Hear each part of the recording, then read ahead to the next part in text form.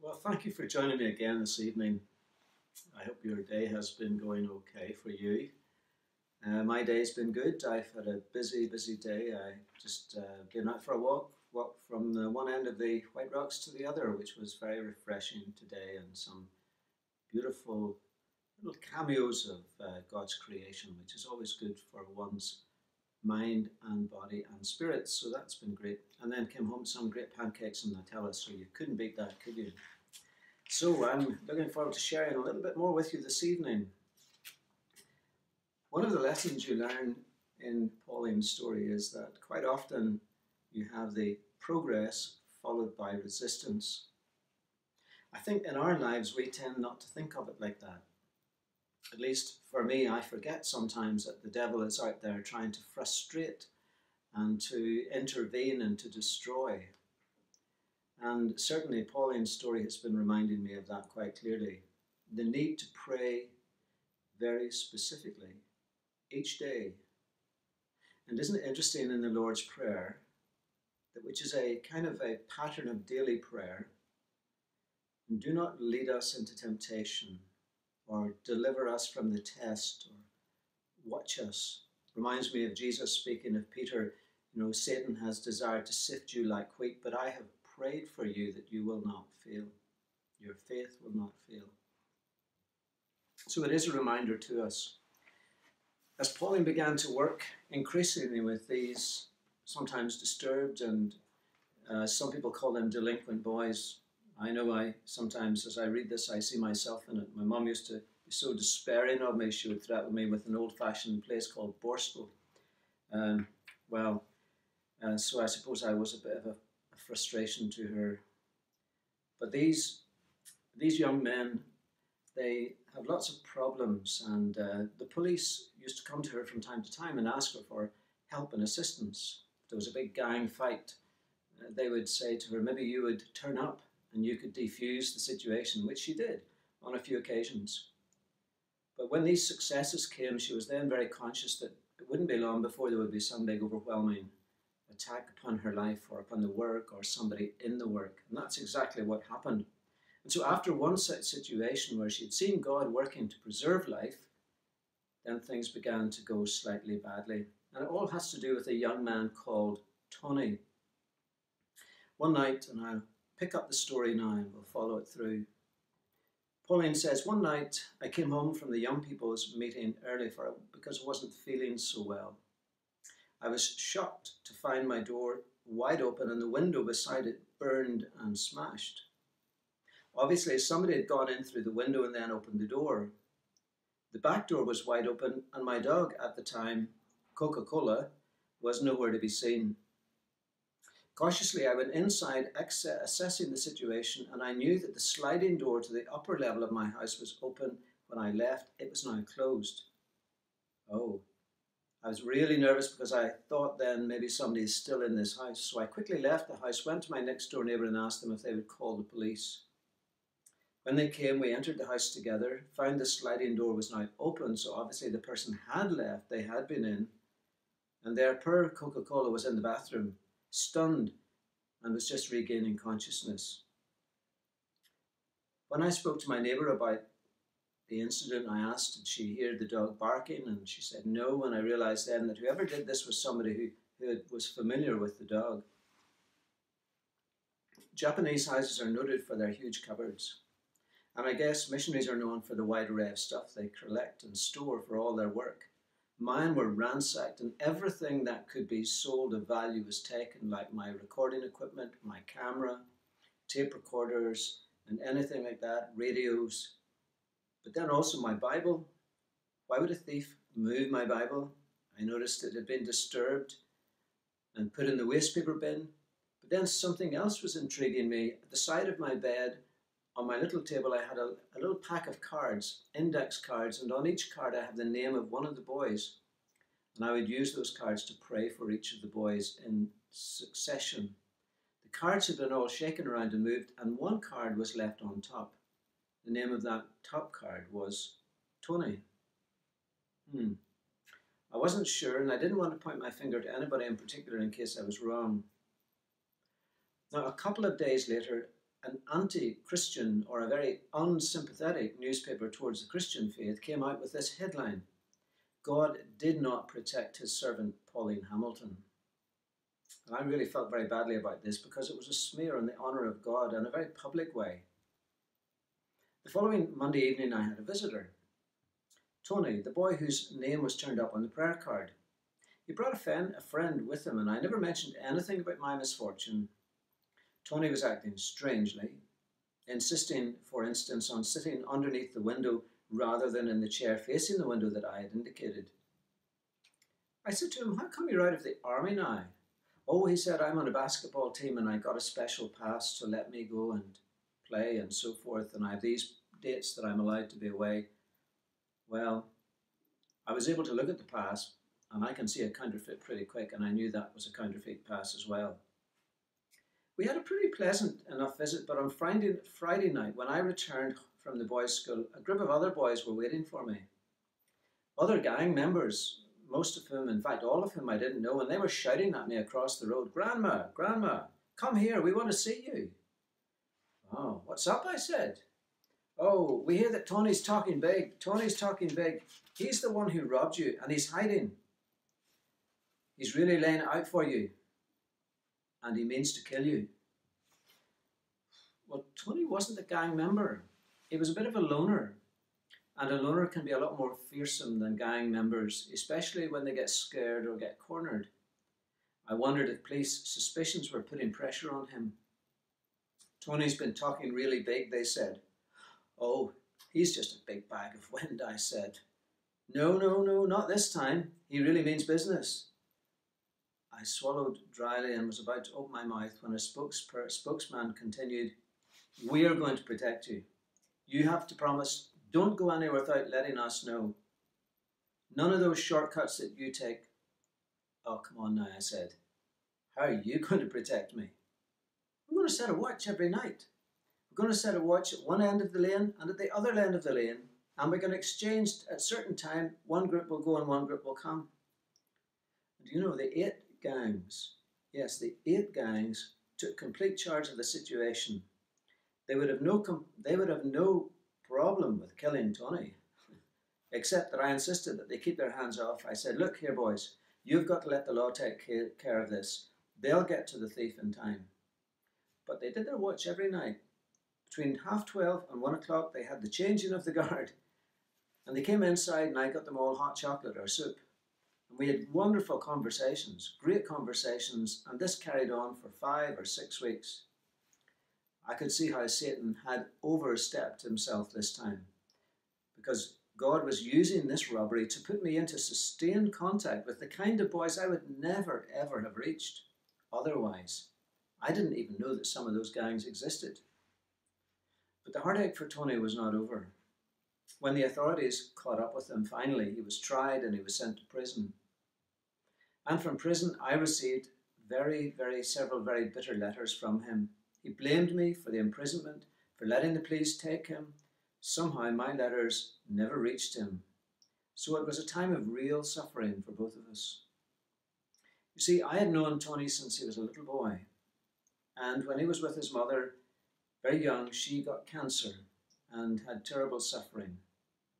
After that dreadful experience, it seemed to do something to Tony and it made him into a sort of quite sadistic I remember one day coming in and hearing my dog, Coca Cola, whining and crying out, and I found Tony in there with a pin, a safety pin stuck into the dog's tongue. I was so angry I didn't even know what to do. Maybe, maybe his robbing me had something to do with that day. But I wasn't going to give up on Tony. And so I did what I always do. What did I do?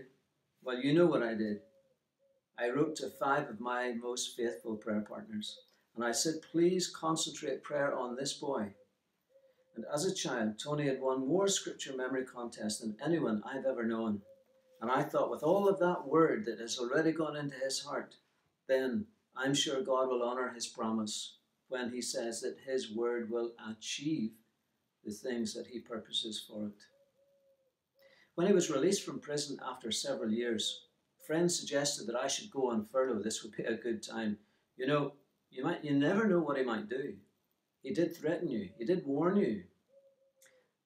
I knew it was time for furlough, but I just didn't feel that to run away was right. I thought that if I ran away, that was giving the devil victory. And so I just tried to treat the whole thing as another test of my commitment to this task. And I really got into my summer program. And in fact, nothing happened. Little by little, the whole incident was forgotten. It was about two years later, during the Moon Festival in September, when the moon is at its brightest, I had a caller. Earlier that evening, I had spoken to a group at the Christian Industrial Centre in the city. And then I had this special night, for on the moon celebrations, they have these moon cakes and so on, and it's a really good time of feasting. I didn't get home to half twelve, nearly maybe one o'clock in the morning. This time I was living behind the United States Information Service, and the guards, they often kept an eye on my place when they knew I was away. And when I got home that night, they grilled me excitedly. Where were you? Why are you so late? I said, Well, what's the problem? They said, Oh, there's been someone here all the way from Taipei on a motorbike. Yes, with a girl as well. They've come back three times. Hmm. I wondered who that could be. Well, they won't come again, for it's so late, I imagine. So I bid the guards good, good night that night. I'd just gone in, turned on the water for a warm bath. I just stepped into the bath and the doorbell rang. oh no, not now. Drip dry. I managed to grab some clothes, Chinese style clothes. Brilliant, great idea. And I put them on, ran to the front door. And though I didn't recognize the voice beyond the gate, I opened. Who was there but Tony? And a girl with him whom he introduced to me as his wife. Well, I didn't really know what to expect next. But anyway, I quickly kind of composed myself, invited them in. Within minutes, Tony was on his knees, pouring out his heart to me, asking forgiveness. He had been out of jail for two years, and he couldn't live any longer with the guilt of what he had done to me. And when he finally told the whole story to his wife, she said, Right now, let's go and they had travelled several hours before they could see me. Those small hours in the morning were very, very precious, and I remember them well, because Tony and his wife came to the Lord, put their trust in Him before they left. Later on, he made full restitution of everything he took from me, with the compound interest added as well. In tempting me, the devil, or in tempting Tony to rob me, the devil had meant so much evil and so much harm. But God had worked it all out for good again. Seven of the gangs who protected me that time disbanded. A number of the members came to believe in the Lord Jesus, and Tony and his wife found the Lord Jesus as their Saviour as well. Isn't it amazing just looking back and seeing that? But that, of course, was only an ongoing part in the story. There's another little add on to that. One young man whose name was called Mike came to me a few nights after this. And Mike was, of course, really anxious and angry and concerned because his father had put him out of the house. I wasn't so sure that it was all, all his father's fault, though I knew he was an alcoholic and I knew that maybe he had good reason to be anxious and concerned. But somehow this young Mike grabbed hold of a sickle the sickle I have for cutting the grass and the weeds in my garden when he was in my home, and he darted off with the intention of going home to use the sickle with his father. Well, I said, You're certainly not going to kill your father with my sickle, I said, and I managed to rugby tackle him before he got too far. But then I said, You come with me, and we will go and see your father. And after a long process, which I can't go into here on the report on, on our little recording this evening, Grandma Han was able to bring the two together. And then she said, Now, what I want you to do is, I want to talk to you about what it is to be a Christian, and then we're going to pray. She prayed for one hour on their knees, the whole family, before she left. When she was leaving sometime later to go off, this is what her his Mike's father said. He said, I want you to know that I'm a Christian now too. That makes us one family in the Lord, and I'm going to be baptized in three weeks as a testimony to my friends. I am sorry that you you'll be gone by then on her furlough. I've never, I've never forgotten your prayer that night. You know, I can't every night we have a chance to chat like this, and I consider a rare privilege to have this opportunity to talk with you and, and to share with you something of this book that has had an impact in my life. I've had this book for many, many years now, and it's been a tremendous blessing. This one is 1977. But it's just that it keeps reminding me of those simple, simple things. Be courageous, go in faith, keep praying, remember the devil's there, don't give up. There are so many simple lessons, and I am sure, I, I really am convinced that because of this kind of situation we find ourselves in, it's like an intensive course of memory, drawing out from us our memory, the things that have happened in the past to you and to me. And, and God is actually, as it were, face on with us now. And He's saying to us, I want to address these issues with you. Now, you may have guilt. Maybe you've been living with guilt over some issue, and you, you need to go and you need to put that matter right between the Lord and between that person or those people. Maybe you need to write letters to apologize, to make restitution. Maybe you need to write checks. Maybe you need to do all sorts of things. Or maybe you're praying that others will do those, God will speak to them, that they will do that to you. But is it not a time for us as we slow our lives down before God and really learn these lessons and pray about everything? Pray about everything. Invite close friends into your prayer circle. God is at work right now. God is doing things. The devil is the happiest person to see the coronavirus. He loves to see pain and misery, and he loves to see people blaming God for things that are not God's fault, too. But God has purposed this time for you, for your family, for your friends, for your church, for your relationship with Him. I really pray that you will, you will, you will not, nor will I miss this great opportunity. So let me pray for us as we conclude tonight. Father, thank you for this wonderful continuation of the story of a life. Uh, Pauline is just an ordinary person. They call her grandma because it is just the sort of person they see an older woman, single, without all the sophistication of so many people today. But she had faith in you, and you were her God. And you have given us that faith, O Lord, and you are our God. We want to honor you and glorify you in our lives. And tonight, Lord, I pray that you will either make us sleep like a child, or our hearts are at peace, or if there's some matter in our lives that needs addressed, that you'll give us no sleep at all until we make that matter right to the praise of the glory of your great name. Amen. So, thank you for joining me. And I pray God will bless you and God will work in your heart and He will enrich you.